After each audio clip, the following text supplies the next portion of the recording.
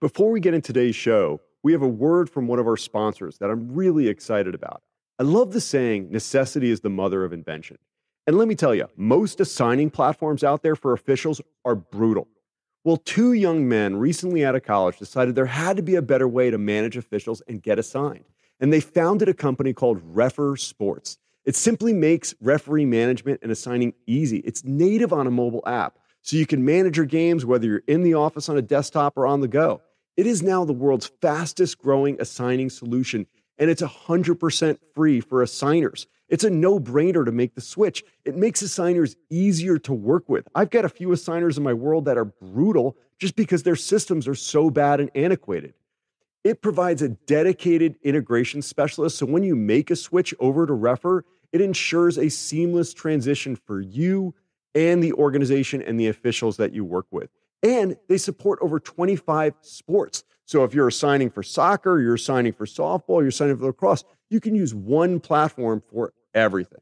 Simply put, man, if you want to level up your assigning game and be an easier assigner to work with for the referees and officials that are in your universe, use a tool that makes everyone's life better. Refr Sports. It's spelled R E F R Sports. Check it out online or in the App Store.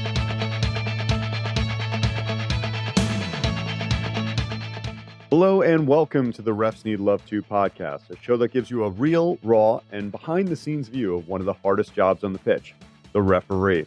I'm your host, David Gerson, a grassroots referee with over 10 years of experience and over 1,200 matches under my belt. You can find me at refsneedlove2.com and on Insta and TikTok and now YouTube. This week, we will be taking a look back at some of my recent matches, the power of a well timed warning, and some notes from the mailbox. Okay, guys, before we get into the meat of the podcast, I just want to give you a little heads up and personal note from my life. My 81 year old dad is in the hospital with COVID and some heart related issues. I'm flying down to Florida tomorrow to be with him. Unfortunately, the last two times I've seen him, he's been in the hospital. Um, and I stayed there until he was able to get out. And then and that was, I think, back in May of this year. And then there was a number of reasons why we didn't see each other over the summer. He had travel. I had travel. But man, he's 81. Uh, his dad died at 57. I think his mom died at 62. Time is running short. I, I have about five guy best friends in my life, maybe six. Three of them, their dads have passed away. So I can, should be lucky that he's still alive. And I don't know how much longer he's going to be with us. Maybe a year. Who knows? He already has beaten the odds. He's got kidney failure. He only has about 13% of his kidney function left and he does dialysis. I just wanted to take this moment and remind you that life is short. Time is precious. If you love someone, let them know. If you're lucky enough and you have your parents still alive, if you're adult and your parents are still alive and kicking, make sure you go make time to go see him before it's too late. I do talk to my dad three or four times every week. He's my best friend, but I haven't made enough of an effort to go be with him. Uh, he lives in Florida, about seven hour car drive away. Don't make the same mistake I've made. Don't make the same mistake I've made. Go make the effort. If you haven't picked up the phone in a while, pick up the phone. If you haven't seen him in a while, make plans to go see him. Time is short. All right, let's talk about something more positive. let's talk about being a referee. I swear, my games were rained out this weekend. I'm not joking. And yes, I've had some stuff going on in, in my uh, professional life. And then obviously hearing about my dad today is not making me feel much better. But my games were rained out this weekend. And I got to tell you, man, it affects me.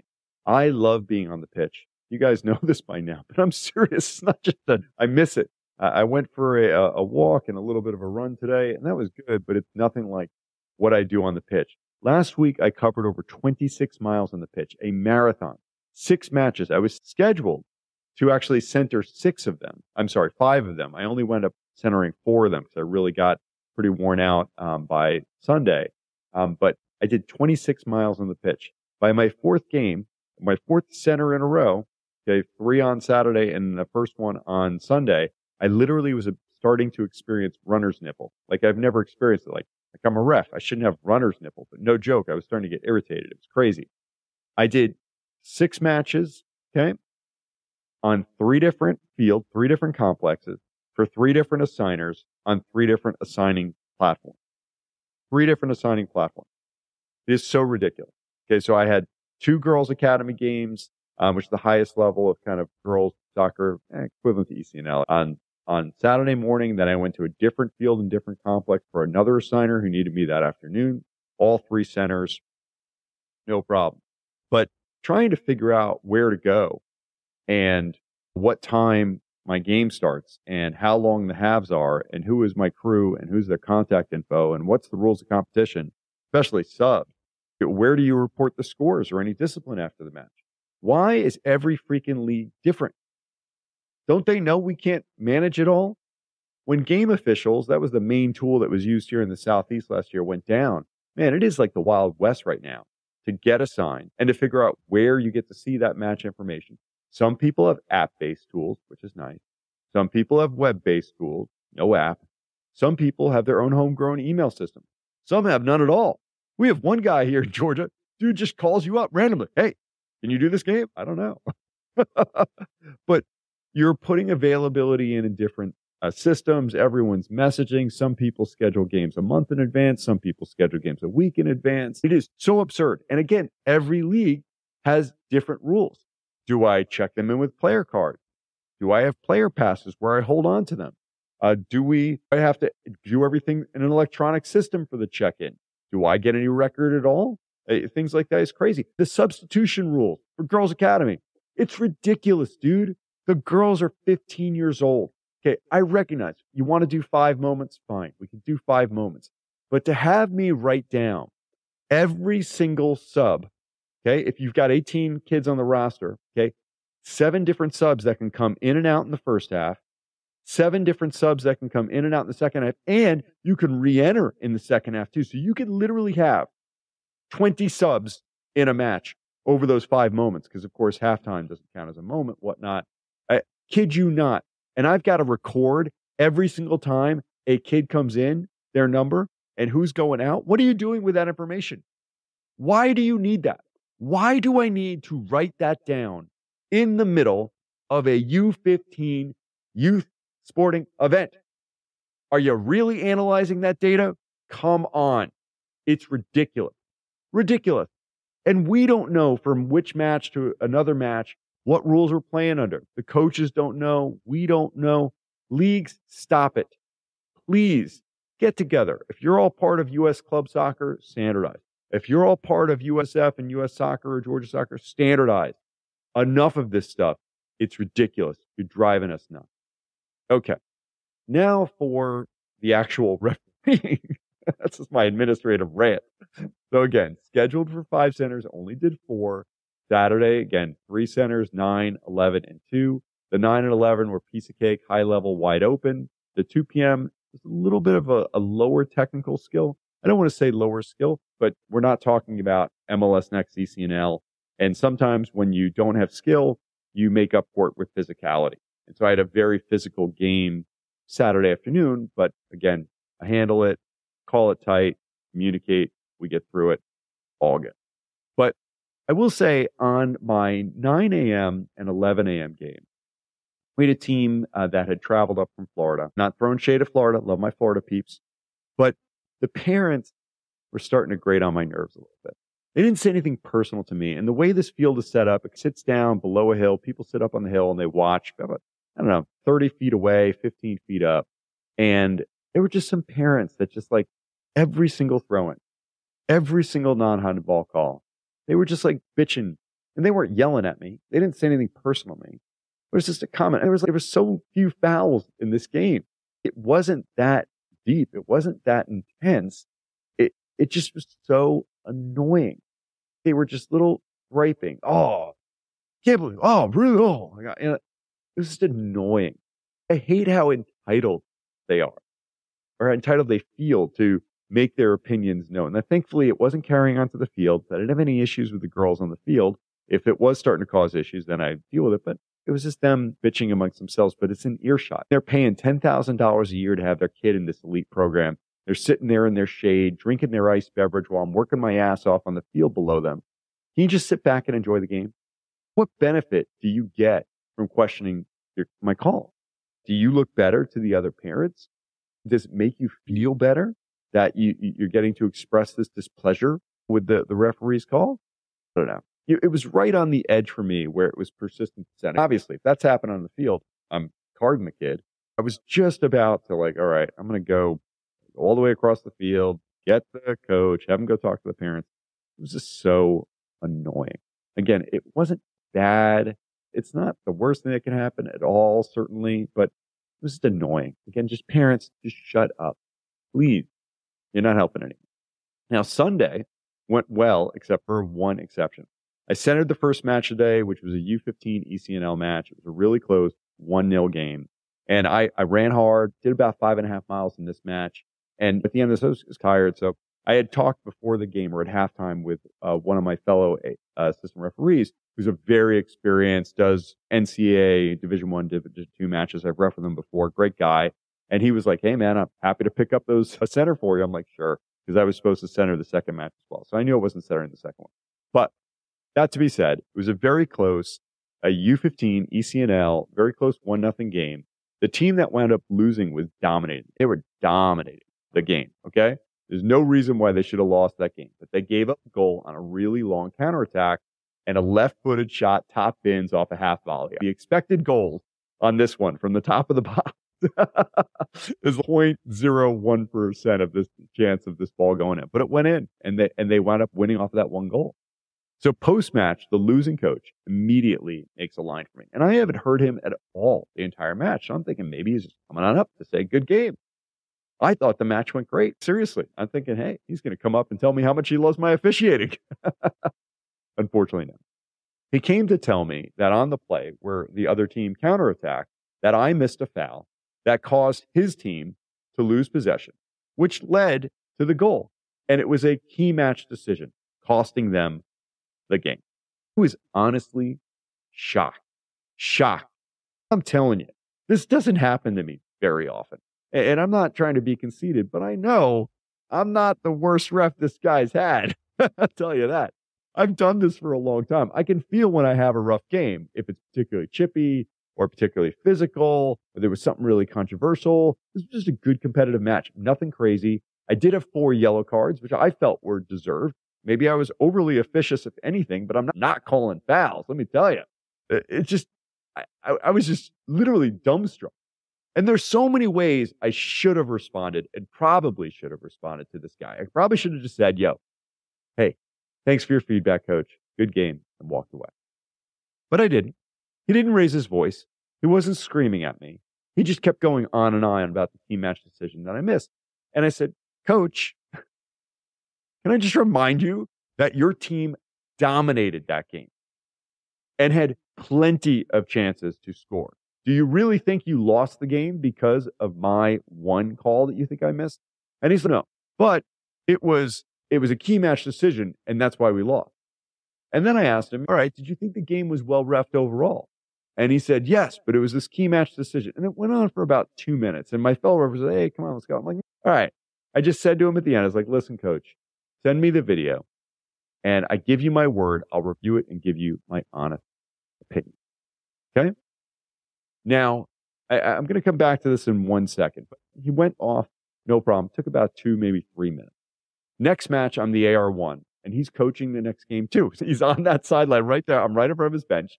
And a couple minutes in, I just turned around because we didn't get a chance to talk before the game. And I'm just like, hey man, no hard feelings. And he smiled back and he said, if I don't win, it's like losing my home. To keep my job, I must win. So English was not his first language. So he was very direct in what he said. And he's not saying it mean to me, but he's just trying to tell me what the deal is. I got to tell you, that club is sending the wrong message to that coach, or he has re- learned the wrong message through his life. Because during the time he was talking with me in the center of the pitch, he should have been talking to his girl. What lessons should they take from that match? How could they improve? What could they do differently next time to ensure a win? Instead, they saw their coach go blame the ref for the loss.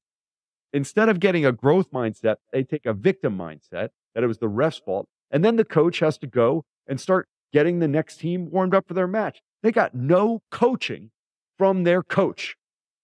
No coaching from their coach. And that just makes me upset. On Tuesday of this past week, coach in question here sends me an email. The words I'm sorry were not in the email, but it said something to the effect of after looking at it again, I can now see that it doesn't look like it was a foul. There might have been some contact, maybe, but I can see that it was not a foul. Okay. He doesn't say I'm sorry or anything like that. He just expresses again about how important it is that they win. He did felt it was a critical decision in the match. That's it. And I, I emailed back and, and I just said to him, was like, thank you, coach. If you don't mind, please send me the full game video so I could review the entire match. Now he hasn't responded. I, I will tell you, I rewrote the email to him like five different times because I was a little upset. I was like, should I tell him how much of like like it, how how upset I was and the effect that can have on a referee? Thankfully, I'm mentally strong. Thankfully, I have a growth mindset. Thankfully, I'm willing to be honest and learn how I can improve when I make a mistake. And I was willing to open myself up and admit that I might have made a mistake and I would learn from that mistake and be better next time. But that is not what he was willing to do. And he wasn't willing to listen and learn from his mistake. And he wasn't willing to face the loss with his team as a team and what could they, we do better so that we can do better next time and learn from what happened. Instead of a growth mindset, they adopted a victim mindset that it was the ref fault. Man, that just really chapped my ass. All right, guys, I got a quick uh, thing I want to read to you. I so I get Referee Magazine. I don't know if you guys get Referee Magazine, but I get it emailed to me every now and then. And there was one that was from uh, some soccer referees in this, and I thought it was really interesting. It's called Well Timed Warning. So I'm going to read through this with you, and then we'll get to this notes from the left. So I love this. Warnings come in a variety of forms. There's the quote, look, there's the stop sign, there's the quiet word, to name a few. Each can be appropriate in certain situations. Officials must know when a warning is appropriate based on what is happening in the game at the time. It might be the right action in response to the question of a call. A warning can be issued as a form of preventative officiating. In certain sports, the rules mandate warnings or cautions, like we do, in response to acts or violations. This is not to say that warnings are a cure all or a substitute for enforcement. Warnings are not appropriate when basic rules are being broken during a game, right? Clear it's a trip. You can't just say, Hey, I'm warning you about that trip. No, we call foul, right? Officials must manage the game and know when to get rid of the warnings and replace them with penalties or fouls or bench restrictions or cards or ejections, whatever the sport may require. And without question, the old one more word and you're out of here warning, which is more of a threat anyway, is to be avoided at all costs. I never say that to someone. If you say one more thing, coach, it, for me, if I am giving someone a quote unquote warning, the words I use are, coach, you're engaged in whatever the behavior is. If you continue, there will be consequences. Okay. That's usually what I say. And then, then I, I deliver. the consequences might be a card. The kite, it might be yellow card, might be red card. I don't know what it is, but again, I just say there will be consequences and I follow through. All right. But still in all, a warning can be effective technique in game. Here are some tips on how to warn various participants. Coaches. Okay. Because of the nature of their job, more than a few head coaches are going to create conflict for officials. Use preventive officiating wherever you can and tolerate a bit more from them than you would other participants. Use the full range of warnings for head coaches from a silent look that says, I've heard you, to a more formal verbal warning that you've heard enough, meaning they've used up their leash and next time you deal with them, it will be a penalty. Assistant coaches, reserve players, and other personnel on the bench, such as team managers, trainers, etc., should be afforded much less tolerance, much less. When there's a problem with someone on the bench, go directly to head coach and tell the coach about the problem. More often than not, the coach will fully support you. Almost no coach will tolerate a mouthy bench who caused the team a penalty. And in high school in particular, if someone on the bench gets a card, the head coach gets too. I love that. Players. Constant communication is the key to preventive officiating with players who are in the game. Many times, upset players only want you to listen to them. Acknowledge their concern, and often that will mollify them. Reckless or rough play gets no warning. We're going to penalize that immediately. But if the overexuberance hasn't reached that level, serving a notice lets the player know an authority figure is paying attention. All right, fans. Booing the officials is as old as sports themselves. And that's a fact, man. Officials can't be so thin skinned as to respond or be bothered by it. That situation I was describing earlier. Did it really need to be addressed? I, I don't think it really rose to the level that it needed to. I'm just going on and doing my thing. But standing in front of the rowdies and wagging a finger is only going to inflame the situation. If it goes beyond razzing, get the game manager or the field uh, administrator, whoever it might be, or the coaches involved. Profanity directed at game personnel, tossing of material onto the playing surface, anything like that, threatening acts or gestures must be dealt with by game management. There is no warning on that. They've got to be taught. All right. When to warn. As noted, warnings can be issued for a number of reasons. In football, okay, and, and this is American football here, a player who would have been flagged for holding had the play not gone to another area of the field can be alerted to block rather than grab. Baseball umpires often have a catcher or infielder to tell the pitcher to avoid a balk by taking a longer pause in the set position with runners on base. Carelessly tossed bats usually bring a warning on first offense. When a player's over aggressive play is threatening the orderly process of a game that has free substitution, an official can suggest the coach have the player taken out of the game temporarily to simmer down. Note that it is not an order, merely a suggestion. The coach can reject your suggestion and run the risk of a player being penalized or ejected, or just accept the advice. When it comes to warnings, a look sometimes can be as good as the spoken word. And I know this as, as a referee. Sometimes someone will make a foul and I just look at them. What are you doing? that type of thing. And they get it. Often fewer words get the message across than a longer oration. And that's so true. People just want to get back to it. Just tell them what you, you expect and get back to it. Assuming the rulebook doesn't often mandate the use of an actual phrase, I'm warning you, or that's a warning, needn't be the best thing to say.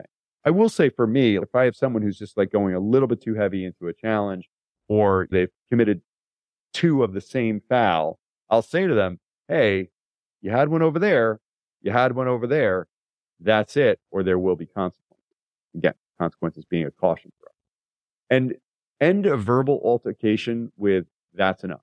You may want to supplement the warning with the stop sign, upraised hand indicates conversation end. Let's play is a good way to move forward and get the game going again. By telling participants to resume action by putting the ball in the play, you can end further dialogue and help let everyone move on. An effective official is able to deal professionally with coaches, even in the most heated situations. And that is so true.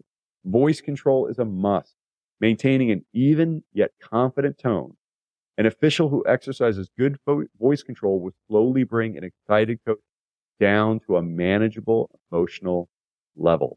Be pleasant yet firm when necessary in explaining calls or relating information to coaches. I think that is such good advice. I want to stop right there in the article. It's one more paragraph, but I think that is so good.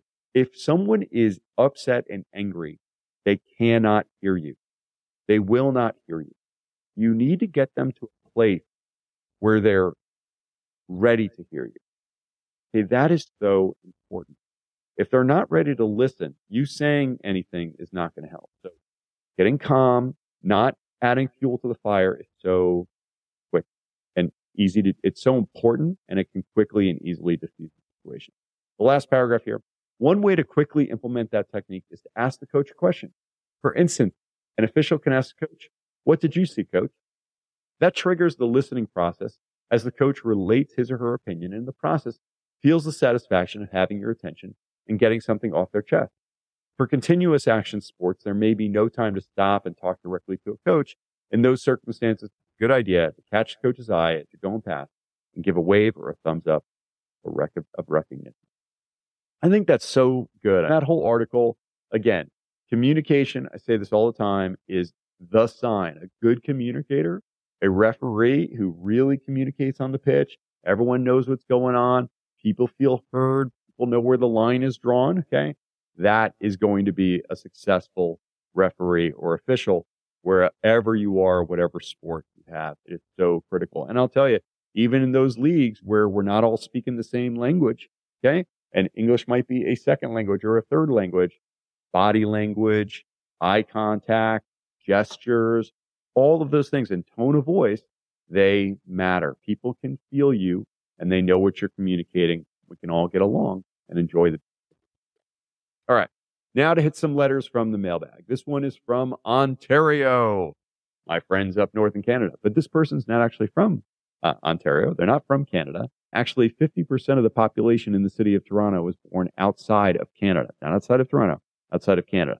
Tons of immigration up there right now, making it a really diverse and vibrant culture. All right, now for the letter. It says, Hi, David. I wanted to take a moment to express my appreciation for the work you do. Your videos are not only interesting, but incredibly helpful. A bit about me. I'm originally from Ukraine and moved to Canada about a year ago. Okay, I just got this letter like three or four weeks back. So think about where Ukraine was a year ago. Okay. With Russia's invasion. Yeah. It, it, literally fleeing his homeland to come to Canada. So we moved to Canada about a year ago. Back home, I used to be a referee, but after suffering a severe injury, I had to step away from the game for a long time. When I came across your videos after moving here, they reignited my passion for refereeing. Okay, I want to stop right there and just, oh my gosh, I'm like literally schwitzing right now. It's so exciting. My heart is full. Thank you so much. All right. It then continues. I decided to start over, took the entry level course, and began getting assignments as an AR. In just three months, I had an assessment in the local Calgary leagues. I'm sorry, he's not at Toronto. He's in Calgary. Oh, shame on me. Local Calgary leagues raised my rating from 60 after the course to 30, which allowed me to officiate as a center referee, not only in minor leagues, but also in AD, APDL, which is the provincial minors league and U sport games, which are really high level competitions. Additionally, I became a referee mentor. My gosh, I became a referee mentor and currently have five first year referees who have made significant progress this season, hopefully with my guidance. I frequently use your videos in the mentoring process. Since my English, oh, since English is not my first or even my fourth language, the clarity with which you explain situations is invaluable. And he writes, thank you for all you do. Please keep it up. And I, I got to tell you, I searched my email trying to find this guy's name and I couldn't find the email. Oh. So whoever you are out there in Calgary, man, I love you. Uh, he writes at the end, P.S. I also want to thank you for your reactions to my photos from my games because I, I, I, think I, I may we're on Facebook together. I can't remember, but I like some of his photos. And he writes, it means a lot, especially as I'm not an influencer. My posts are mostly for my friends and family. My wife's parents are still in Ukraine, close to the war zone, and seeing something positive from my life brings them some comfort. Oh my God, I know I'm like really emotional right now, but we'll just say it's that this game this, this, being a referee brings me so much joy and provides such a wonderful positive distraction. We're talking about a guy who had to flee his homeland and leave his his wife's family, his parents, and probably a lot of his friends and family behind. And they can see him getting to participate in the beautiful game now as a, as a referee and as a mentor and have fun and run around without fear of bombs being dropped on you or being shot. Okay. Dude, there is lots to be thankful for. I will just say that. My friend in Calgary, thank you so much for sharing that with me. All right. I got one more message and then we'll wrap this up. All right. From the mailbag. It's on the topic of how not to let mean or angry people affect you. This is from Oksana and she is 32 years old and she loves watching football. Unfortunately, she couldn't watch it for several years. And at that time, VAR didn't exist yet. People were complaining that there were no video replays. But now she's back and she's watching the Euros this year and she began to be interested in referees by via Instagram. She saw my videos and she loved them. And they are, she says, I think English is, might be her second language too, maybe also from Eastern Europe. And she says they're made in the best possible way, describing the situation, asking questions, redescribing the situation, explaining with quotes, pictures, and fingers. I guess I'm pointing to things. Really funny. And a summary. And all of this is full of positive vibes and voice and smile. I feel how you want us to understand. I wish all my teachers were teaching like you do your videos. Huge thank you. All right. She writes, I want to take an opportunity to ask a question. Because of the nature of my job, referees are skilled at not letting other people's behavior affect them. I'm a sensitive person. When someone says or does something that he must not say or do to me, I can rewind it in my head countless times. For example, I've told a client that he needs to pay for the service and he screamed at me. No matter that I told it was not my decision, but my boss's, he stopped only when he realized that I'm the one who will sit at the microscope for him. She works in a fertil- fertility lab but her hands were shaking for hours. I imagined what I should say so he wouldn't act this way, but it doesn't help. It doesn't change the past. I just don't get how people allow themselves this attitude. Having a bad day is not an excuse. Almost nothing is an excuse. It's basic rules of behavior. And she, she says, you wrote in your blog to be like a goldfish. And what if it's not about forgetting? I don't want these things or I don't, but I don't want these situations to get inside me. I don't want my hands to shake or to feel my heartbeat. How do I build a mental wall? Thank you for your attention and best wishes, Oksana. All right. So Oksana, this is such a great question because being able to deal with difficult people, sometimes angry people, aggressive people, it's not just something that we deal with on the soccer pitch. This is something that we deal with in life. It happens all the time. There are people like that in our workplace and in every workplace. I don't care if you work in a big, beautiful office someplace, some nice corporate environment, or it's in the warehouse or something like that or at a fast food restaurant, you are going to deal with people who don't treat other people very nicely. It is a reality of life. Sometimes they may even just be mean. They may be angry and, and they want to share that anger with other people. And I say share that anger. I really do feel that when people are mean and angry and ugly to other people, that they want them to be as miserable as they are, that they're missing something in their life, that they don't have love and security and support and family and friends who care about them. And so they take out those insecurities and that anger and that, feeling of, of nothingness out on other people. They want other people to feel as bad as them, or they feel entitled. And I talked about entitled earlier, that it's their privilege based on their position, their title, or their role in a situation to be mean or angry to other people. Here's the deal you can't change them. They are who they are. They are. There's nothing that you can do or say to change how they're going to act. They are who they are. But what you can do is change how you react. And are do you want to allow them to affect your mood? Are you going to allow them to bring you down? And that's like my big thing for me and my family and my kids. And I always, I, I tell them, I choose my mood. I choose if I'm going to be happy, upbeat, positive. I don't let other people set my mood for me. Again, if they are sad and they are unhappy, I feel bad for them. And honestly, if someone's angry at me, I usually start my first thing back and say, I am sorry you are so upset. Sincerely. Is there anything I can do to help? That, I, honestly, I ask a question. How can I help you? Help me understand. Honestly, I go into it with a student's heart. If a coach is really upset, I may say, Coach, help me understand. Again, what did you see? Why do you feel that way? Type of thing. And then I might come back and say, Okay, coach, I totally understand why you might be upset if you thought that's what happened. Here's what I saw. That's why I called it like this and we, I explain myself, but I'm not going to let them make me angry. I'm not going to let them bring me down. That's why I'm actually a little bit upset at my behavior the other day with that coach.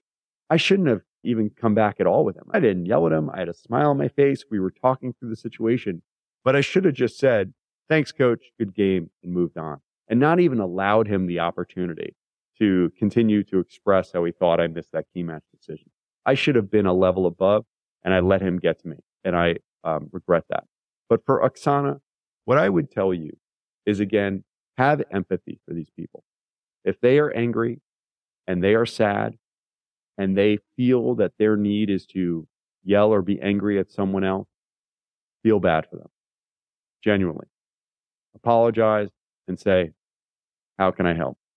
Or apologize and say, I'm so sorry you're upset. How can I help? Type of thing and it will change the dynamic. Acknowledge that they're upset, acknowledge that they're angry, and see how you can move forward positively. But don't let them bring you down. Don't let them affect your mood. It is not worth it. It is not worth it. You know who you are. You know that you are a good person. You know that you're intelligent and have wonderful things to give to the world and you're doing the best job you can, that's all you can do. So give them grace, understand that they're unhappy, and try and, and move on. So that's all I can say on that one. But Oksana, I wish you all the best. If you have any other questions, give me a shout. And I'm so glad you enjoy um, the channel. All right, guys, I hope you enjoyed today's podcast. I personally find this podcast very therapeutic. I look forward to every chance that I get to do this. It's hard to cut out the hour or two prepared for it, the hour to record it, the hour or two to do the editing for it. But man, I love doing it. I got to tell you, it, it gives me the opportunity to talk about the things that I love. And I hope you find value in it too.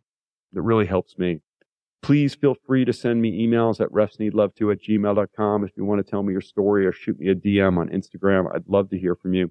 If you like today's pod, please check out my social media channels on Instagram, TikTok, website, merch at refsneedlove2.com. Again, the whistles are in stock.